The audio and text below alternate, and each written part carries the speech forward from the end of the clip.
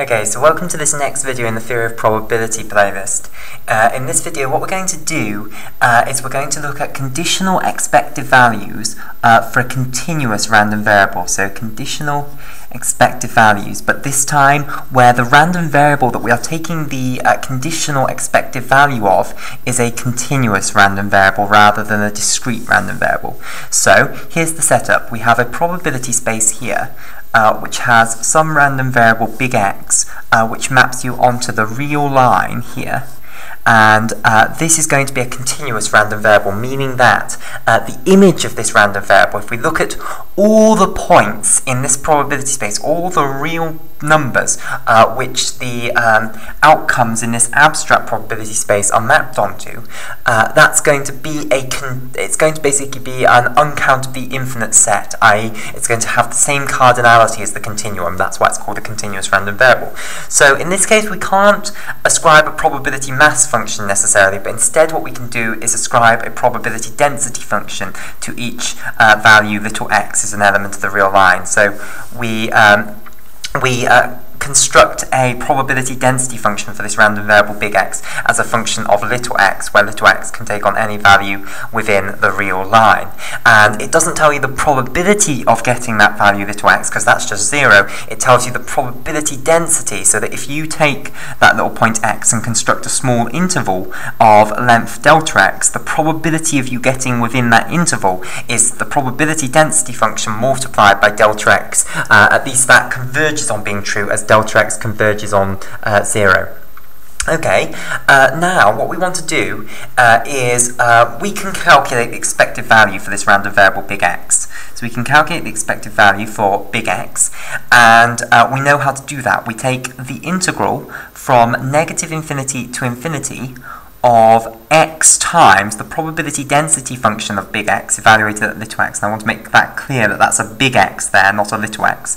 Uh, and you integrate it with respect to x. So the intuitive notion of what you're doing here is that you take the probability density function, you multiply it by a tiny little interval dx to turn it into a probability. So let's imagine letting this interval get absolutely tiny. That's what dx is. Uh, so some tiny little interval. That will tell you the probability that you're within that interval. Uh, what you then do is you multiply that interval by its uh, the value that it effectively represents, which is x. Because if you make dx so tiny, then the interval gets so close to just being x that you might as well call all the points in there, uh, say that they have the value x. And then you're basically summing that up over all values of x on the uh, real line uh, to get basically the sum of all of this up. And obviously it takes these infinitesimal probabilities, but it sums over an uncountably infinitely many uh, little x values, and that somehow spits you out a finite value. So that's the incredulity of calculus. Um, Anyway, uh, so that's the expected value, and now what we want to do is, uh, similar to in the case of discrete random variables, we want to say, what is the expected value of a random variable big X conditional on an event E having happened? So what this means is, uh, basically you have some subset of our original abstract probability space, which we will call the event E. So this is some event E, which is just a subset of your original probability space. And what we now want to do is uh, calculate the expected value of the random variable big X, uh, where you now view this E as being the whole probability space. So what you can imagine doing is pulling it out uh, so that you're just left with this E here. Here is E. And you can imagine now restricting the random variable big X onto the set E. So now you view E as your new probability space, you promote it up and use it as the whole probability space. You still have this random variable big X which is ascribing to every outcome in, the, in this new probability space E. It's still ascribing real values. And um, what you're going to do basically is you're going to um, alter the probability, uh, the, the probability distribution by the way of this random variable big X, uh, where it's now restricted to this event, uh, to this new probability space E, uh, is not necessarily at all the same as the probability distribution of the random variable big X on the entire larger probability space. So, what the reason is that um, if you, the probability density function is effectively, uh, if you take the probability density function and multiply it by delta x, what you get is effectively the probability that you're within that interval. So let me highlight that in green. So that's what the probability density function on here means. Now what is the probability that you're within that interval? Well, it's the probability of the inverse image of that interval. So let's say there's some green set uh, down here. In fact, I want to draw it so that it has at least some intersection with E.